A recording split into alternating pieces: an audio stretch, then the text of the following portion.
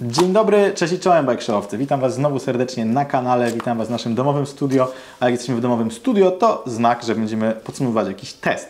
Dzisiaj zajmiemy się takim oto bohaterem odcinka, czyli nowością od marki Laser, kaskiem Laser Strada Kinetic Core, czyli kaskiem, który wdraża technologię Kinetic Core, czyli technologię, która ma być alternatywą dla systemu MIPS. Ma być od tego MIPSa trochę lepsza, równie bezpieczna, a pozbawiona pewnych wad, które system MIPS posiadał i posiada, bo tak naprawdę dalej wciąż i pewnie jeszcze długo będzie obecny w różnych modelach e, kasku. Powiem Wam trochę o plusach tego kasku, które wynikły podczas mojego testu, o minusach, o tym, czy jest wygodny, czy nie jest wygodny i w ogóle o co z tym całym e, Kinetic Core chodzi. Lecimy z dzisiejszym tematem.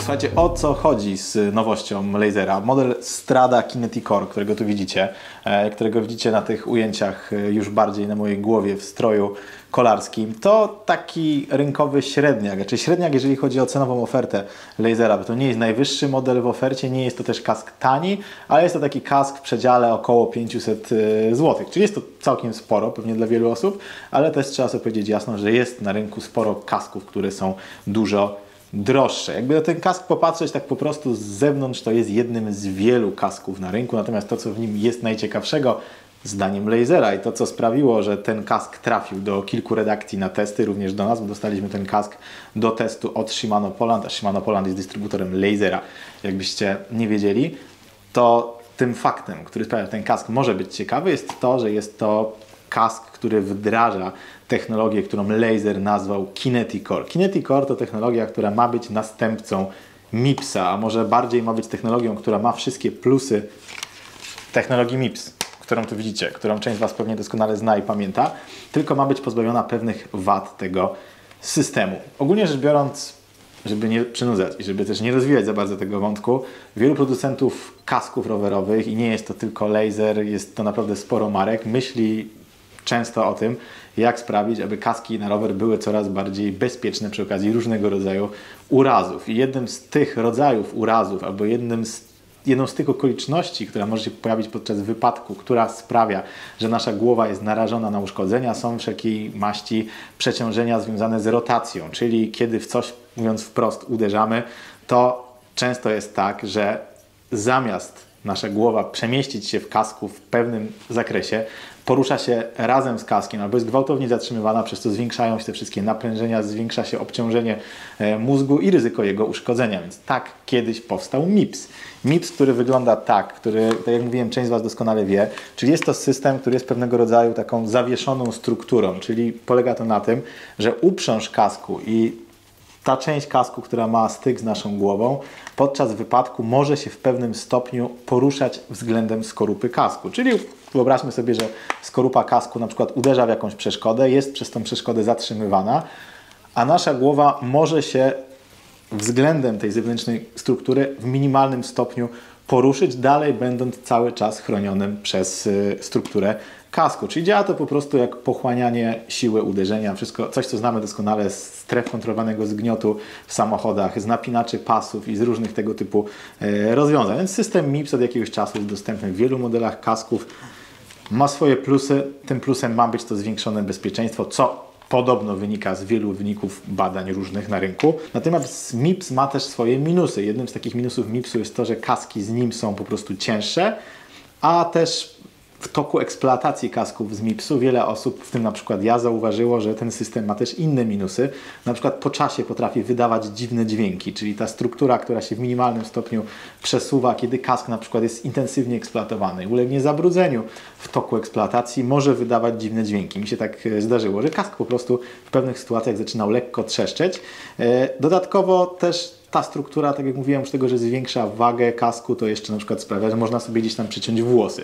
To jest autentyczna sytuacja, która dotyczy osób, które mają trochę dłuższe futro na głowie, że gdzieś jakieś kosmyki włosów, y, jakieś y, właśnie warkocze, nie warkocze, one mogą się gdzieś tutaj w tych y, płatach, strukturach MIPSa blokować. Więc system MIPS oczywiście jest na rynku dalej, nie jest w każdym modelu kasków.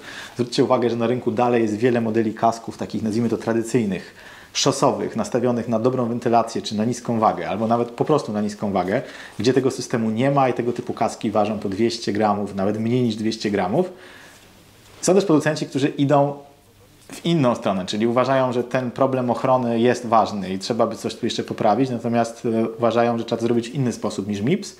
No i tak na przykład powstał bontragerowy Wave Cell, który też był pewnego rodzaju próbą rozwiązania tego problemu pochłaniania e, energii podczas uderzenia, natomiast tam znowu problem jest taki, że kaski z Wave Cellem są gigantyczne, w sensie wyglądają po prostu jak pieczara i są jeszcze cięższe. Część z nich jest naprawdę bardzo nieprzyjemnie ciężka. No i marka Laser, która podobno jest jednym z najstarszych, jeżeli nie najstarszym producentem właśnie kasków. Laser doszedł do wniosku, że trzeba stworzyć system, który też będzie pochłaniał energię podczas uderzenia, też będzie pozwalał na pewną rotację e, kasku względem głowy podczas e, wypadku, tylko trzeba to zrobić tak, żeby ta struktura była zabudowana wewnątrz kasku. No i tak powstał system Kineticore, który lepiej widzicie tak naprawdę teraz na e, zbliżeniach. Jest to po prostu pewnego rodzaju struktura tego materiału, z którego wykonany jest kask, która jest tak uformowana, że działa w pewnego rodzaju jak strefy kontrolowanego zgniotu. Czyli nie mamy tutaj takiej jednolitej struktury wewnątrz kasku, tylko mamy takie żebrowanie, które z jednej strony ma poprawiać wentylację kasku, z drugiej strony ma obniżać jego wagę, co się średnio udaje, o tym za chwilę. No i też te takie żebrowania, takiego swojego rodzaju radiatory, perforacje mają podczas uderzenia się odkształcać, dodatkowo pochłaniając energię. Czyli z jednej strony mają ulegać zgnieceniu w taki sposób, żeby pochłaniać energię. Z drugiej strony mogą też się wykrzywiać na boki, przełamywać tak jakby na bok, też pochłaniając energię względem takiej rotacji, czyli też mają działać trochę jak MIPS, a przy tym wszystkim e, jest to wszystko zabudowane w kasku, więc jak na to popatrzycie z zewnątrz, to wygląda to po prostu jak kask z trochę dziwną budową w środku, ale bez żadnych dodatkowych technologii. Tak jak mówiłem, lepiej żebyśmy nie sprawdzali, czy ten system naprawdę działa i czy jest bezpieczny i to jest e, tak naprawdę marketing poparty badaniami, czyli Pewnie te wszystkie certyfikaty działają i pewnie ten system również poprawia nasze bezpieczeństwo, ale powiedzmy sobie szczerze, oprócz tego, czy kask jest bezpieczny, część z Was, w zasadzie większość z nas, zwraca też uwagę na to, czy jest wygodny, czy ma dobrą wentylację i jak na głowie e, wygląda. To jak wygląda na głowie widzicie już teraz. W moim przypadku jest to rozmiar L.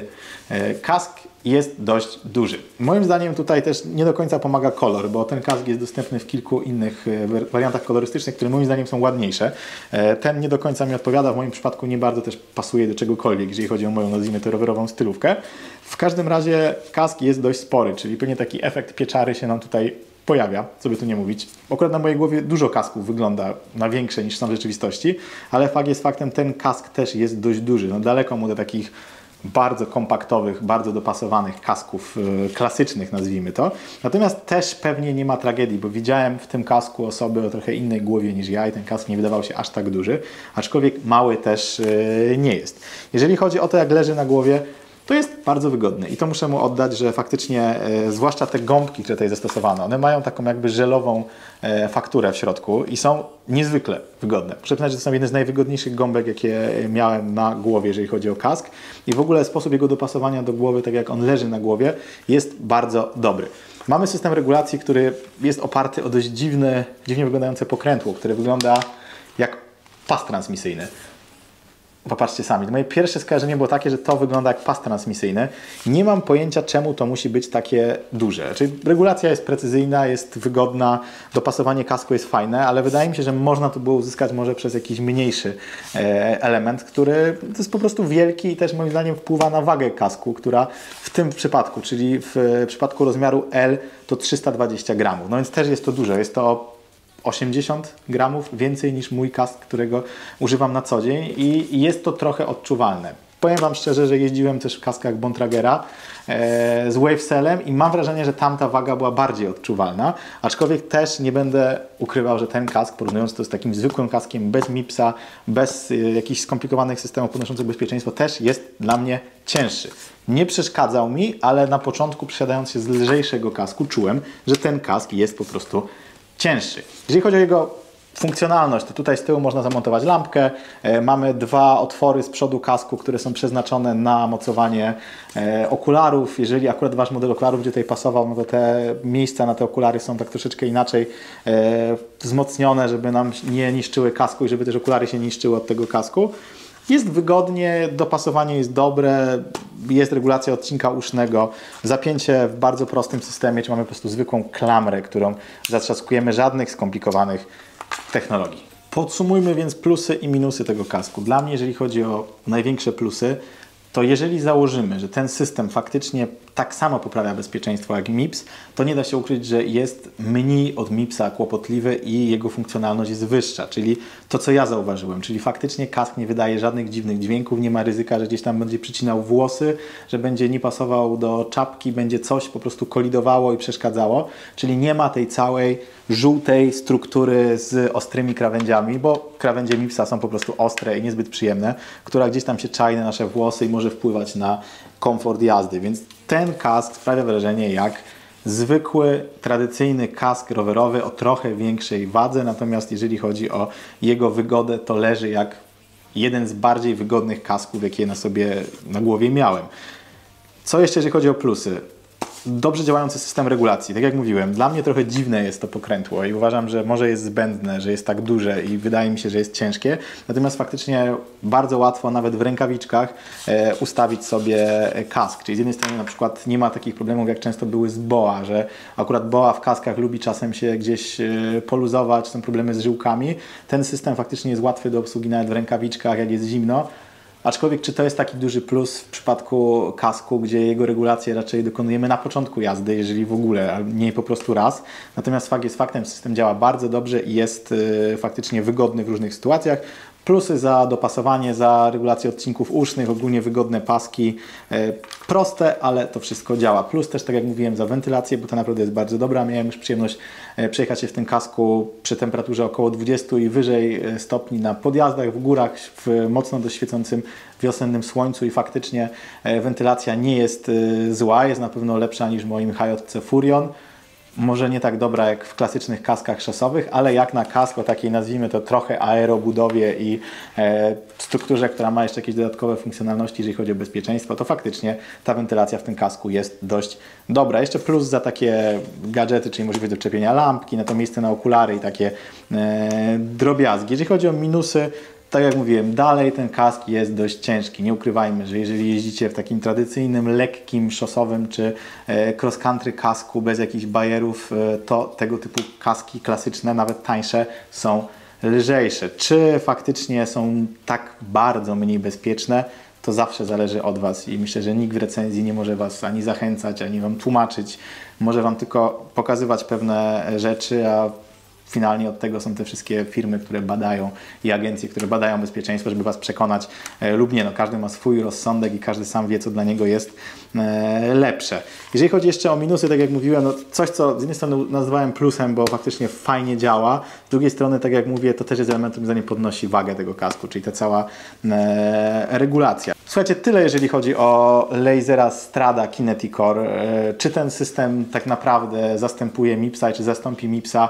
Nie wiem. Fakt jest faktem, że jeżeli uznamy, że działa jak MIPS, to jest to krok naprzód, bo jest po prostu pozbawiony pewnych wad e, systemu MIPS. E, nie jest to do końca kask z mojej galaktyki. Myślę, że po tym, jak wygląda na mojej głowie, część z Was może zrozumieć, dlaczego tak uważam. Ja po prostu w tego typu dużych kaskach rowerowych nie czuję się zbyt dobrze. Czy one są bardziej bezpieczne? Nie wiem. Natomiast na pewno chciałem Wam na koniec tego odcinka zasugerować jedno, że jak będziecie kupowali sobie jakiś kask e, rowerowy, to niezależnie od tego, czy to będzie laser, czy to będzie jakiś inny model, kask kupujemy tak, że trzeba go zmierzyć. Trzeba zmierzyć dużo różnych modeli kasków, ponieważ każdy z nas ma swoją głowę, jedną głowę, tak bym to mógł ująć. Czyli z jednej strony warto o nią dbać, a z drugiej strony warto pamiętać o tym, że budowa naszej głowy i kształt się trochę różni, tudzież twarzy. Więc każdemu z nas będzie na głowie dobrze leżał inny kask. Czyli z jednej strony różne kaski będą na tej głowie naszej naprawdę leżały wygodnie, a z drugiej strony też różne kaski nam się będą podobały bądź nie. Często jest tak, że któryś model kasku, mimo tego, że wszystko na papierze wydaje się, że jest idealnie, rozmiar e, i wszystkie parametry, nagle się okazuje, że kask nas gdzieś uciska. I to nie jest wina kasku, to jest po prostu wina tego, że nasza budowa, nasza głowa do konkretnego modelu kasku nie pasuje. Więc pamiętajcie o tym, że kask ważny element związany z bezpieczeństwem, który mamy mieć na głowie cały czas, którym spędzamy mnóstwo czasu, więc warto poświęcić trochę czasu, żeby wybrać taki model, który będzie dla nas wygodny, który nie będzie nam przeszkadzał i który będzie nam się podobał, przez co naprawdę zawsze będziemy go mieli na głowie. Dzięki za ten odcinek, dzięki za ten test. oznaczony jako sponsorowany, bo powstał we współpracy z Shimano Polska. Macie to oznaczone. Jeżeli Wam się podobało, zostawcie łapkę w górę. Dzięki za uwagę, trzymajcie się. Hej!